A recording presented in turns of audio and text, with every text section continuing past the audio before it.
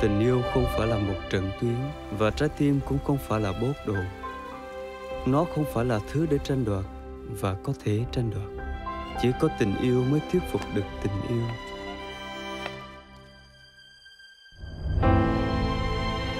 Ở dân cầu mà bộ mày thích miền thiệt hả? Tao không biết. Không biết con khỉ không biết. Mày phải thích nó dữ lắm á. Mày có dân tao nha mới là bao cát cho anh nó đánh nhá. Yêu một người thôi chưa đủ Cần phải có duyên phận. Duyên phận. Cho miền nè. Bây giờ là lớp 12 Mày không tranh thủ á Là hết cơ hội nha con. Nhưng mà tỏ tình sao tao đâu có biết. Miền có biết trong lớp có bạn thích Miền không? miền cũng thích bạn đó. Tao đã cấm mày qua lại cái thứ vô thủ vô thực đó rồi. Đâu phải mình muốn yêu ai là yêu người đó được đâu em.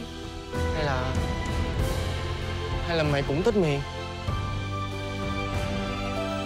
Tao không biết. Mày nói mày không biết. Nghĩa là mày đã biết rồi đó. Sau nhiều năm Cậu tháng thấy tình yêu giống như trò chơi đi tìm một kho báu vậy. Không biết được thứ mình đào lên. Là vàng bạc. Hay là mảnh đất vỡ. Là mình đứt tay phải chế tình duyên, ngày đó không dừng chưa cờ để người mênh mông, cô đơn, người làm quen giấc mơ. Rồi tự trong thâm tâm, họ nhận ra chẳng còn bình yên nữa.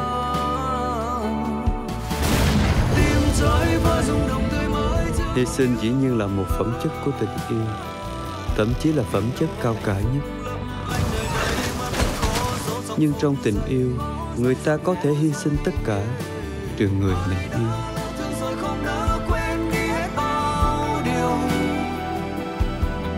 Hết bao năm ấy phải sắc hơn